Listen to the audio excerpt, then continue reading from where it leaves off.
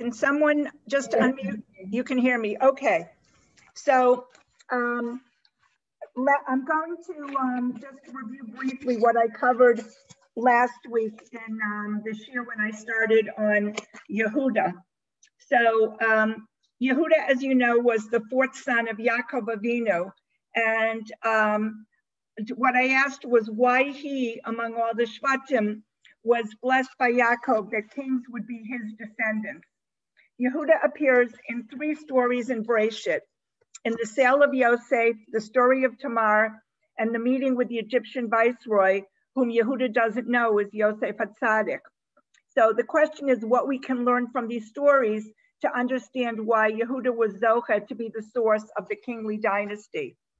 Now, last week we discussed the fact that Yosef was a favored son of Yaakov and that he had given the coat of many colors, which, which was a characteristic of royalty, as shown by Tamar, the daughter of David Hamelech, who also wore a katonis passim, a coat of many colors. The Shvatim, the other sons of Yaakov, viewed Yosef as an existential threat to them. Until now, their great grandfather, Avraham Avinu, and their grandfather, Yitzchak Avinu, had had two sons, but only one of them, Yitzchak Avinu in the case of Avraham and Yaakov Avinu in the case of Yitzchak, had been chosen as the spiritual heir apparent. Yaakov Avinu had 12 sons, four of them by Leah Imenu. The Shvatim, the 12 sons, believed that one of Leah's sons um, would be the heir apparent. And Leah's sons, who were also the oldest sons, did not feel that it should be Yosef, the son of Rachel, the favored wife. Moreover, Yosef was the dreamer, the one who told his father and brothers that they would one day bow down to him. The brothers felt that they had to get rid of Yosef lest he supplant one of them as their father's spiritual heir. They couldn't imagine that each would be the progenitor of the Jewish nation because of their limited, their limited experience was such that only one person could hold that role. Excuse me. In the first story involving Yehuda, the brothers plot to kill Yosef. Reuven, the eldest of Yaakov's sons, plans to rescue Yosef secretly, possibly to assuage his guilt over his past insults to his father. However, we see that Ruvain is not a decisive person. He's, wish, he's wishy-washy and seems insecure. And although he persuades his brothers not to kill Yosef, but instead to throw him into a pit, Yehuda is the one who convinces his brothers to sell Yosef rather than have his blood on their hands should he die in the pit. Yehuda is an actor, an active person. And when Reuben returns to his brothers and sees that Yosef is gone, he wails about where he can go. He wants to know what he should do now. His focus is on himself more than on his lost brother, and he shows no signs of leadership. The other brothers come up with a cover up plan and they bring the coat dipped in goat's blood to Yaakov. They don't even have to lie to their father, as Yaakov Avinu draws the conclusion they wanted that Yosef had been killed by a wild beast. Now, immediately after this incident, the Torah interrupts the narrative to discuss the incident between Yehuda and Tamar. We learn that Yehuda went down from his brothers. Rashi says that when his brothers saw their father's pain over Yosef's presumed death, they now blamed Yehuda for convincing them to sell him. Perhaps seeing his father's grief, Yehuda himself felt a need to separate from his family. Yehuda leaves his family and he goes down both physically and spiritually. Vayet Yehuda, Yehuda turned away from his brothers and he entered into a business arrangement with an Adulamite man. He ends up marrying the daughter of Shua, a Canaanite man. According to Rashi and the Rambam, the, the man was not a Canaanite, but rather a merchant, though some commentators, including Rabbi Eliezer ben Elijah Ashkenazi, who lived in the 16th century, said Yehuda married a Canaanite woman. He has three sons with her, Er, Onan, and Shelah. Yehuda marries Er to Tamar, whom Rashi identifies as the daughter of Shem, the son of Noah. Er dies, and Yehuda marries his second son, Onan, to her, and Onan also dies. According to Rashi, they both died because they spilled their seed on the ground rather than have relations with her because she was so beautiful, they didn't want to mar her beauty by pregnancy. After Onan dies, Yehuda tells Tamar to wait a few minutes until Shelah grows, I'm sorry, to wait a few years until Shelah grows up and then she can marry him. Chazal say that Shelah was only seven years old at the time. We don't know if Yehuda genuinely wanted to wait a bit so he could have more time to instruct Shelah so Shelah would not sin as his brothers had, or if, as Rashi says, he feared that Tamar was a black widow and that if Shelah married her, he too would die and Yehuda would have no sons left. Now, the Torah says that after many days, Yehuda's wife passes away and Yehuda goes up to Timnah to the sheep shearers. We don't know how long a period of time passed, but it was obviously a number of years because it was sufficient for Shelah to be old enough to marry Tamar. And we know that because when Tamar hears that Yehuda, her father-in-law, has gone to Timnah, she goes there as well. So I'm now um, resuming the story and I'm going to screen share.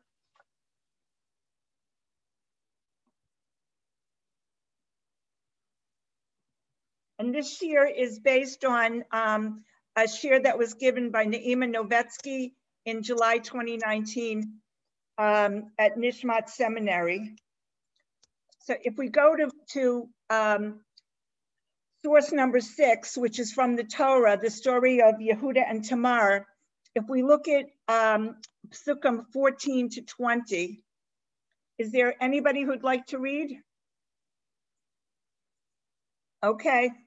Um, so starting at verse 14, she took off the garments of her widowhood and covered herself with her veil and wrapped herself and sat in the gate of Enaim, which is by the way of Timnah, for she saw that Shelah was grown up and she was not given to him as a wife. When Judah saw her, he thought that she was a prostitute, for she had covered her face. He turned to her by the way and said, Please come, let me come in to you, for he did not know that she was his daughter in law. She said, What will you give me that you may come in to me? He said, I will send you a young goat from the flock. She said, Will you give me a pledge until you send it? He said, What pledge will I give you? She said, Your signet and your cord and your staff that is in your hand. He gave them to her and came into her, and she conceived by him. She arose and went away and put off her veil from her and put on the garments of her widowhood. Judah sent the young goat by the hand of his friend, the Adullamite, to receive the pledge from the woman's hand, but he did not find her.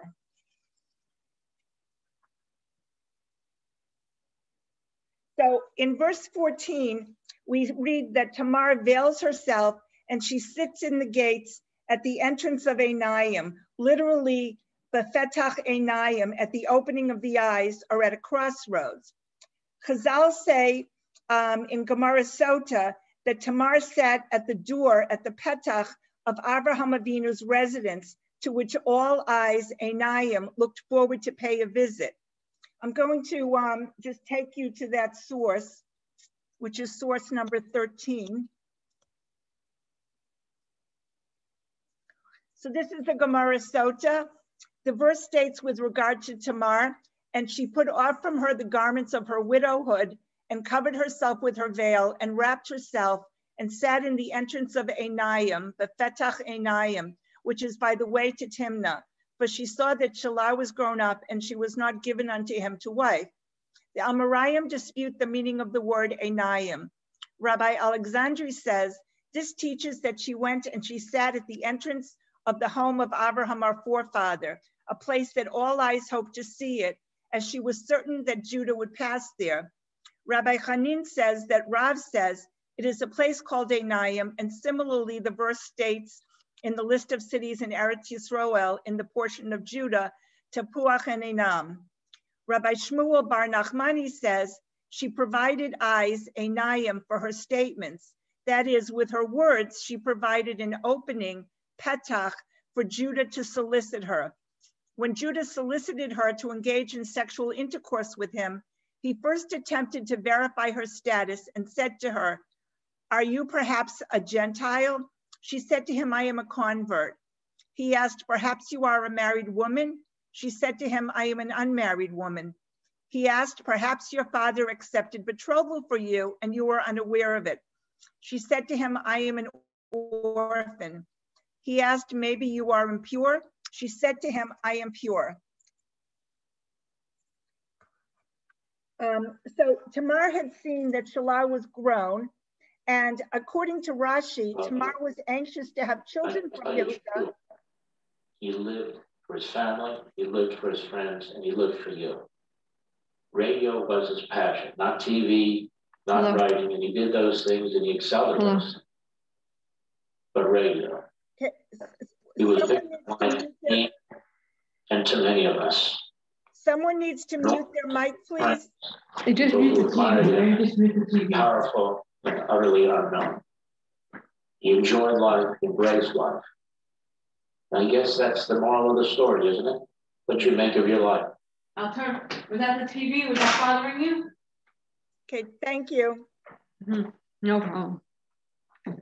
Okay. So, according to Rashi, Tamar was anxious to have children from Yehuda as an ancestor or some other way, and therefore she offered herself to him. In verse 14, in verse 15 from the Torah, we saw that Yehuda had seen her and thought that she was a harlot because she was sitting at the crossroads. Now, if we look now at source 14, which continues the Gemara Sota, um, it teaches that when Tamar went to live in her father's house, she always covered her face and she was known to be a modest person. Mm-hmm. The Gemara continues its discussion of the incident of Judah and Tamar. It is written, when Judah saw her, he thought her to be a prostitute, for she had covered her face. The Gemara asks, because she had covered her face, he thought her to be a prostitute? Prostitutes usually uncover their faces in order to attract men. Rabbi Elazar says, the verse means that Tamar covered her face in the home of her father-in-law, Judah, Therefore, he did not recognize her when her face was uncovered. As Rabbi Shmuel Bar Nachmani says, that Rabbi Yonatan says, any daughter-in-law who was modest in the home of her father-in-law merits that kings and prophets emerge from her. From where do we derive this? From Tamar. Prophets emerged from her as it is written. The vision of Isaiah, the son of Amos. Kings emerged from her as seen from David. And Rabbi Levi says this matter is a tradition that we received from our ancestors. Amos, father of Isaiah, and Amaziah, king of Judea, were brothers. This indicates that Isaiah was also from the house of David and therefore a descendant of Tamar. So um, Yehuda never suspected his daughter-in-law of um, being the one who was sitting in the um, and the Petach Einayim because he'd never seen her with her face uncovered. And Yehuda has relations with Tamar and she conceives. According to Rashi, she conceived men who were similar to Yehuda, strong and righteous. Now, in verse 20 that we read earlier, we saw that Yehuda said he would send a young goat to redeem his pledges. So let's look now at source 15. This is from the Medrash Bereshit Rabbah. The Holy One, blessed is he, said to Yehuda, you deceived your father with a goat. I swear that Tamar will deceive you with a goat. Rashi, citing this medrash, says that just as Yehuda had deceived Yaakov Avinu through a goat by dipping the blood of the goat, by dipping Yosef's coat into the blood of the goat, so too was Yehuda deceived through a goat. Now Judah learns that Tamar is pregnant and he directs that she be punished by being burned. And rather than accuse Yehuda of being the father of her child, Tamar instead sends him the pledges that he had given to her when they had relations, his signet ring, cords, and staff, and she tells him she is pregnant by the owner of these things. Rashi says that Tamar thought that if Yehuda acknowledged his role, then he should do it voluntarily. And if he wouldn't do it voluntarily, then let him burn her and not embarrass him in public. If we look at um, source number 16, again from Gemara Sota, the verse describes Tamar's court hearing. When she was brought forth, Mutzet, she sent to her father-in-law saying, by the man whose these are, am I with child? The Gemara comments, it should have stated when she was Mitutzet. The word mutzet also carries the implication of being found. What then is taught by the use of that term? Rabbi Elazar says, after her signs, which she was using to prove that she was impregnated by Judah, were brought out, the evil angel Samael came and distanced them from each other in an attempt to prevent Judah's admission and Tamar's survival, which would enable the birth of King David. The angel Gabriel then came and moved the signs closer, to, uh, closer again. Therefore, the word mutzet is used as it alludes to the signs being found again. The Gemara comments, this is as it is written for the leader upon Yonat Elem Rechokim, a psalm, Michtam of David. Rabbi Yochanan says the verse means from the moment that her signs were distanced, Rechokim, she became like a mute dove, Yona Ilemet. And the phrase Asam, psalm, Michtam of David, means the one from whom David emerged, as he was modest, mach, and flawless tam with everyone. Alternatively, Michtam indicates that makato, the place on his body that would have required wounding, makah, was complete, tama, i.e. that David was born circumcised, Alternatively, Michtam indicates that just as in his youth, David made himself small in front of the one who was greater than him in order to learn Torah from that person, so too when he became great and was crowned king, he still behaved in this manner so that his modesty, mach, was complete, tam, all of his life. The verse concerning Tamar then states, she sent to her father-in-law saying, by the man whose these are, am I with child. The Gemara comments, and let her say to him explicitly that she was impregnated by him. Rav Zutra bar Tuvia says that Rav says, and some say Rav Huna Bar Bizna says, that Rabbi Shimon Chasida says, and some say that Rabbi Yochanan says in the name of Rabbi Shimon ben Yochai, it is more amenable for a person to throw himself into a fiery furnace if faced with the choice of publicly embarrassing another or remaining silent, even if it leads to being burned, and not humiliate another in public. From where do we derive this? From Tamar, as she was prepared to be burned if Judah did not confess, rather than humiliate him in public. The verse continues, and she said, Discern, please, Hakerna, who are these, the signet and the cords and the staff? Rabbi Chama, son of Rabbi Hanina, says, with the use of the word discern, Judah informed his father that Yosef was lost, and also with use of the word discern, they informed Judah about the signs. The Gemara explains, with the word discern, he informed Yaakov, his father, when he brought him the coat of Yosef and said to his father, and they sent the coat of many colors and they brought it to their fathers and this is and said, this is what we have found now. Discern now, hakirna, whether it is your son's coat or not. With the word discern, they informed him. And she said, discern, please, whose are these? It says, it states, discern, please, na. The word na is nothing other than a language of request. The Gemara explains, she said to him, I request of you, discern the image of your creator in every person and do not avert your eyes from me. The verse states, and Judah acknowledged them and said, she is more righteous than I, for as much as I gave her not to Shelah, my son. This is the same as Rav Chanin Bar Bizna says that Rabbi Shimon Chasida says, Yosef, who sanctified the name of heaven in private by not committing adultery with the wife of Potiphar, merited that one letter from the name of the Holy One, blessed be he, was added to his name, as it is written, he appointed it in Yosef, Behosef, for testimony in his name when he went forth against the land of Egypt. In this verse, the name of Yosef is written with an additional letter Hey, found in the ineffable name of HaKadosh Baruch Hu. He continues, Judah, who sanctified the name of heaven in public, merited that his entire name is called by the name of the Holy One, blessed be he. For all the letters of the ineffable name of, of HaKadosh Baruch Hu are included within the name of Judah, with the addition of the letter Dalid. In other words, the Yud K Vav K.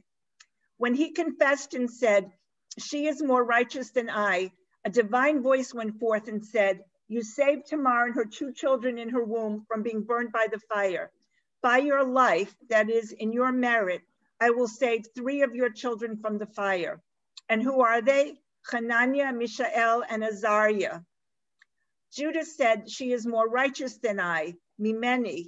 The word Mimeni can also be understood as from me, with Judah thereby admitting that he is the father.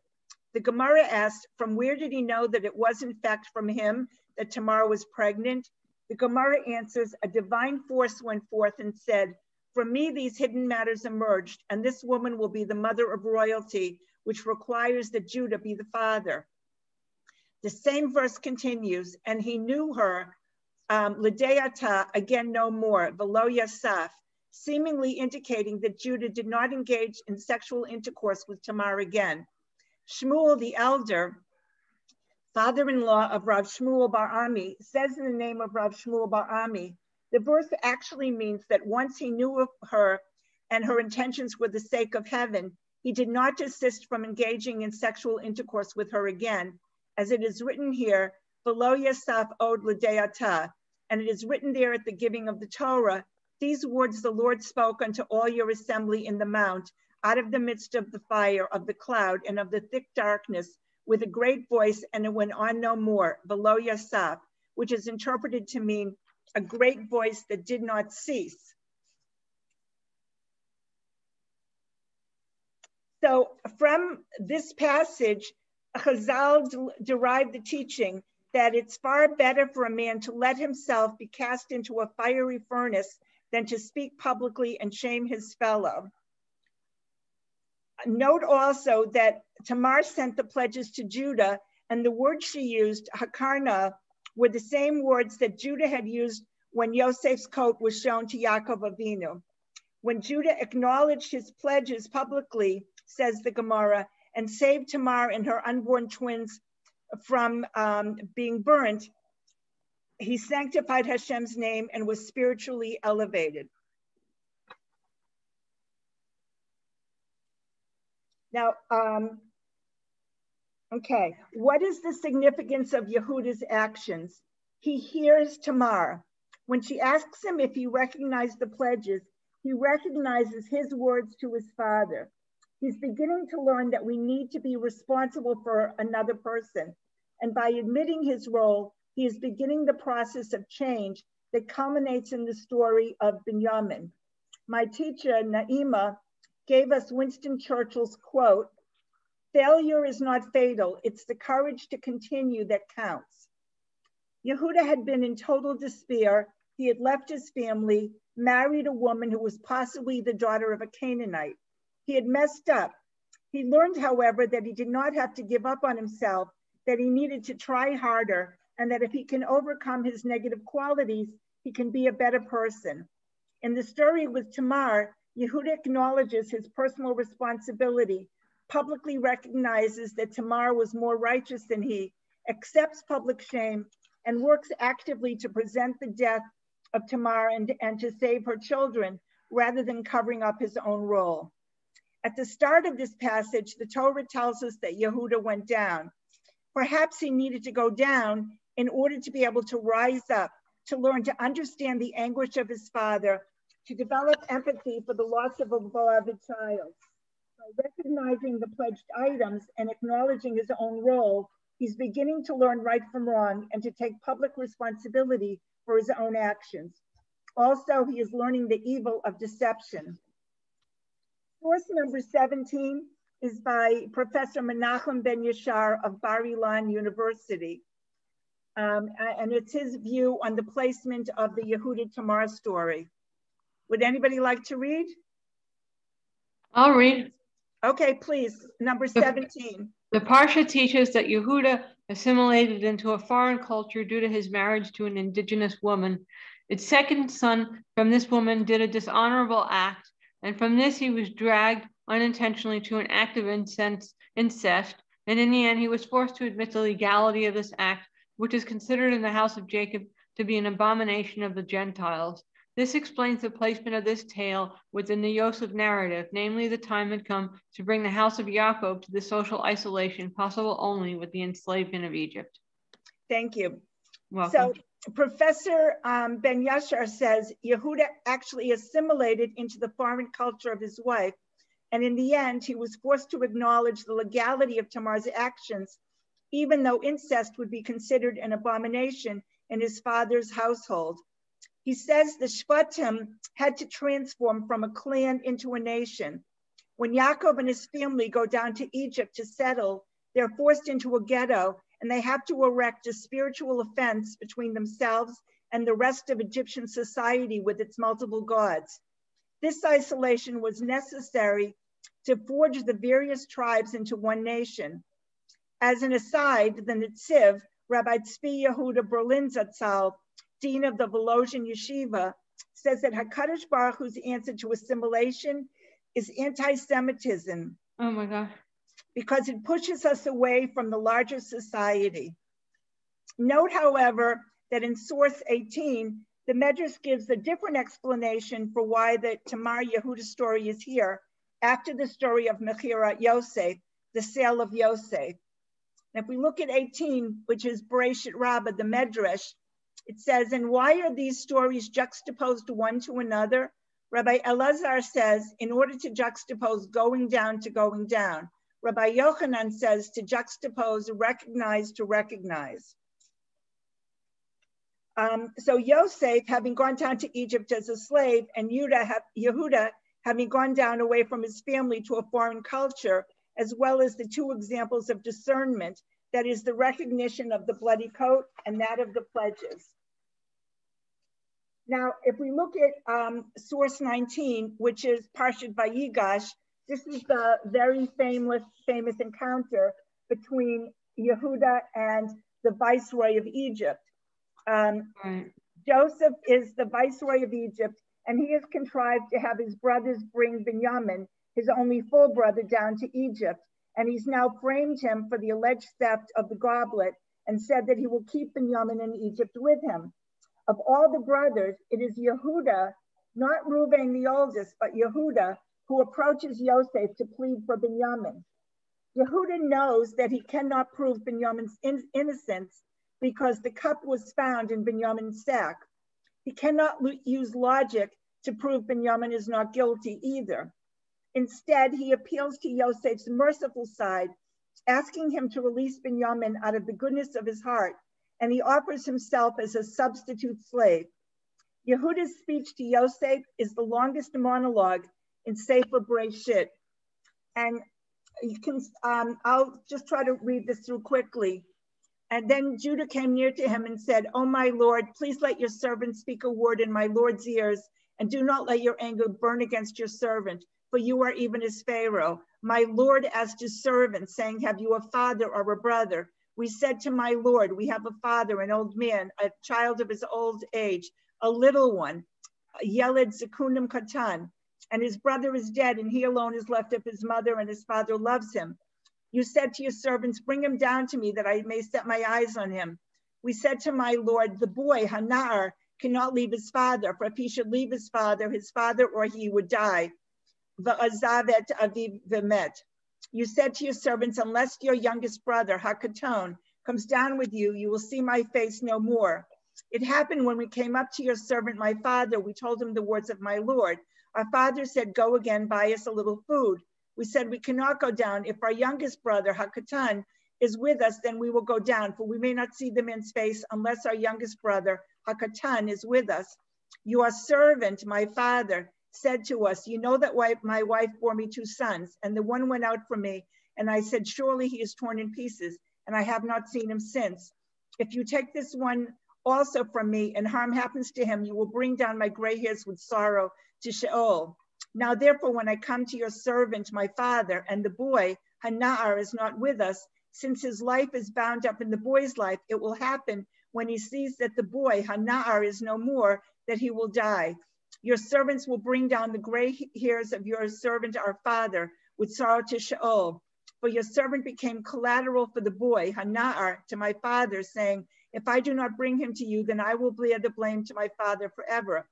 Now, therefore, please let your servant stay instead of the boy, Hanar, a bondservant to my Lord, and let the boy, Hanar, go up with his brothers. For how will I go up to my father if the boy, Hanar, is not with me? Lest I see the evil that will come on my father.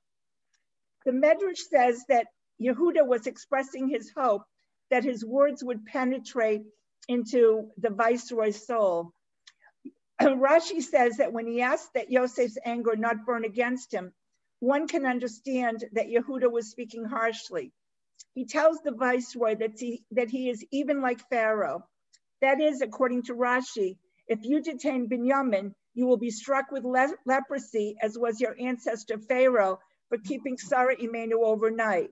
Or you are as unreliable as Pharaoh in that, like him, you make promises just to set eyes on Binyamin and you don't keep them. Yehuda says in verse 19, you asked us questions. That is, from the beginning, you asked us lots of questions. And we said to my Lord, we answered you. We held nothing back, even though your questions were merely a pretext to act, to act against us. We told you, if you look in verse 22, um, that if the youngest son leaves his father, he, the, he would die. Usually that's translated as that Yaakov Avinu would die without Binyamin, but Rashi says it can be translated that if Binyamin leaves his father, he could die. That is, the Shvatim would be anxious lest Binyamin die on the journey, as did his mother, Rachel Imenu. Whereas in verse 31, it's very clear that, that if Binyamin does not return, Yaakov Avinu will die. Yehuda tells Yosef in verse 32 that he is a surety, a collateral for the term for the return of Binyamin. And in verse 33, he says that he, Yehuda, should be allowed to remain in his place. Rashi says Yehuda was offering that he would be a better servant than Binyamin, superior in strength, whether for battle or for service. Now, note that Yehuda does not discuss the allegedly stolen goblet at all. His remarks are a total plea for mercy. The first three portraits paint a sad portrait of an old man who lost one son and dearly loves his youngest son, all that remains of his mother and her seed. In the next verses, we notice that certain words repeat themselves more than would usually occur. For example, the word of, father, is repeated in the text 14 times. References to their father, the elderly man described above, keep bringing that image of the old man, the old sad man to mind. Um, I bold-faced the word father um, in this uh, source sheet just to show you the repetition. The word Eved, servant, is repeated 13 times, and it shows that Yehuda is abnegating himself, mm -hmm. putting himself down. Similarly, the word Adoni, Lord, is repeated seven times, wow. showing Yehuda's recognition of Yosef's higher standing and Yehuda's submissiveness. Interestingly, throughout this speech, Binyamin is described as a Na'ar, a young man, or a Katan, a youngster. But consider the following. Yosef was 17 years old at the time of the sale. 13 years passed before he became second in command in Egypt, so he was now 30 years old. Seven years of plenty preceded the famine, so he was 37 years old by the time the famine began. We don't know how long Yaakov Avinu and his household survived when the famine struck, but the earliest they would have traveled to Egypt was in the first year of the famine, or 37 years after the sale of Yosef. Binyamin had been born before Yosef was sold, and therefore he was at least 20 or 21, 21 years old by this time, probably older than that, maybe as old as 33 years himself. Mm-hmm. Moreover, as is present in Egypt, as he is present in Egypt, Yosef can see him and he can see how old he is for himself. Note that Moshe Rabbeinu was referred to as a Na'ar when he was placed into the basket and let loose on the Nile. So the word, so the word Na'ar can mean anything from baby to young man. By repeating the words Na'ar and Katan, Yehuda is emphasizing the youth and immaturity of Binyamin, his uselessness as a servant compared to himself. Based on a simple reading of the Tanakh, there was just a seven year age difference between Reuben and Yosef. During the second set of the seven years that Yaakov Avinu worked, he was already married to Rachel Imenu, given birth to Yosef, but not yet to All of the children of the had been um, Robin, you need to move closer to your mic. We can't hear you. Okay, can you hear me now? Okay, all of the children of the Shvatim had been born before Binyamin. So what is the significance of this passage in Vayigash? Yehuda describes how much his father dotes on Benjamin. He expresses empathy for his father. Yosef tested his brothers to see how they would treat Benjamin. Would they blame him for the alleged theft? Would they sell him or desert him? Would they hate him or would they protect him? Yehuda's remarks to Yosef showed that he had taken responsibility for his father's life and for his brother's life. He appreciates what the impact of the loss of Binyamin would mean to Yaakov, the inconsolable grief he would experience. Yehuda is willing to nullify himself and offer himself as a slave instead of Binyamin to spare his father that indescribable grief and pain. Um, I wanted to share with you two variant midrashim as to Yehuda's speech to Yosef. If we look at source 20, which is um, a midrashic read of Yehuda's oration. Fran, would you like to read um, the first one? There's, there's two of them. So this is the first one that I have on the screen. And Yehuda approached. Right. Okay. Uh, a Medrashic read of Yehuda's oration. And Yehuda approached. He approached with accusations. For you are like Pharaoh. Just as Pharaoh, your master, loves women and covets them, so too you saw Benjamin, who was very handsome, and desired him as a slave. You came to us with a plot, intending to frame us. Many come to Egypt to buy food, but you asked only us about our family, and you did not ask them. Yosef, why are you the spokesman from all your brothers? I saw in my goblet that among your brothers there are those who are greater than you. Yehuda, what you saw is only because I took responsibility for my brother, Yosef. So why did you not take responsibility for your brother when you sold him to Egypt? You told your father he was torn by a wild animal, and he not and he not sinned to you? Yeah, sorry. This, this one who sinned, go and tell your father. After the bucket goes the rope. When Yehuda heard this, he began to cry and scream. But mm. how can I go up to my father without my brother? Yehuda immediately told Naphtali, Go see how many markets there are in Egypt. He reported 12. Yehuda said, I will destroy three. You each take one of the others, and we oh will not we will not, not leave Nay behind. His brothers told him, but Egypt is not like Shechem. If you destroy it, you will destroy the world. Go and, this, um, and now this is the, the variation of the same medrash. Go ahead. Yehuda, from the very beginning, you came to us with plots and schemes. You told us we are spies, that we came to uncover the secrets of the land, that we stole. I swear that I will take out my sword and destroy Egypt. Yosef, but if you take out your sword, I will wrap it around your neck. Oh my God. Yehuda, you are falsely accusing us. Yosef, there is no false justice that compares to selling your brother. the fire of Shechem is within me. Yosef, it is the fire of your daughter-in-law Tamar, and I shall douse it. Yehuda, now go dye all the marketplaces in Egypt in blood. Yosef, you were dyers beforehand when you dyed your brother's cloak in blood, and you said that he is torn to pieces. And when Yosef saw that they were of a mind to destroy Egypt, he said to himself, Better that I make myself known to them and they not destroy Egypt. So the Midrashim give you a flavor of um, how um, the clash of wills between Yehuda, the ancestor of Mashiach ben David, and Yosef, the answer of Mashiach ben um, Yosef, you get a sense of this clash of wills between them. The Mashiach ben Yosef is mentioned in the Gemara and by some sages, and is said to be the one who will lead the Jews back to HaKadosh Baruch Hu's good graces, unite the Jews in exile, and lead them in the final battle of Gog and Magog, leading to the redemption. Both the Abarbanel and Malbim treat his existence as a Kabbalah, a tradition known to Chazal from the prophets themselves. So when one considers leadership, what are the qualities we seek in a leader? We don't want a Reuven who's wishy-washy and cannot make a decision or is flummoxed when things don't go as planned. We don't want a Shimon or Levi who are hotheads and will act too quickly without regard to the consequences. We want someone who can act, but we also want someone who is wise and acts appropriately. We want someone who understands the risks being taken and the toll these risks may impose on others, especially those under his command.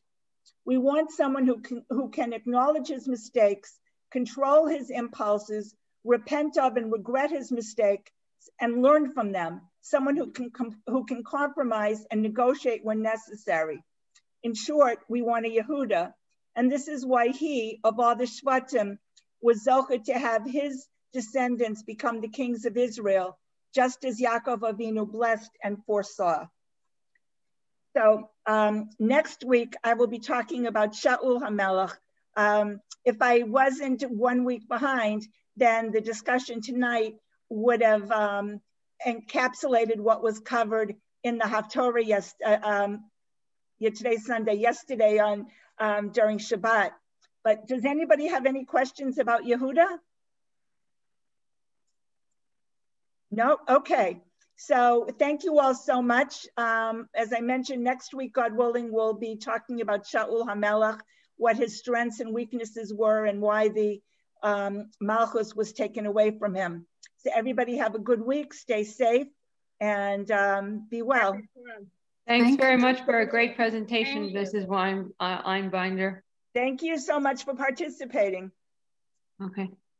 Bye, everybody. Thank you. Okay. Bye-bye. Thank you. Bye, everybody. Thanks, Robin. Great job. My pleasure. Thank you. Thank you, Robin. Okay. Bye-bye. Bye, everybody.